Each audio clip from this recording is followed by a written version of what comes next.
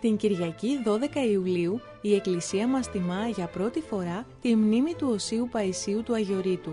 Το Σάββατο 11 Ιουλίου στις 8 το βράδυ παρακολουθήστε σε απευθείας δορυφορική μετάδοση από το Ιερό Ησυχαστήριο του Αγίου Ιωάννου του Θεολόγου στην Σουρωτή Θεσσαλονίκης, τον τόπο όπου βρίσκεται ο τάφος του Αγίου, την Ιερά Αγρυπνία, την οποία θα λαμπρύνει με την παρουσία του η σεπτή κορυφή της Ορθοδόξου Εκκλησίας ο Παναγιώτατος Οικουμενικός Πατριάρχης Κύριος Βαρθολομαίος. 4Ε καλύπτει και προβάλλει όλα τα μεγάλα εκκλησιαστικά γεγονότα.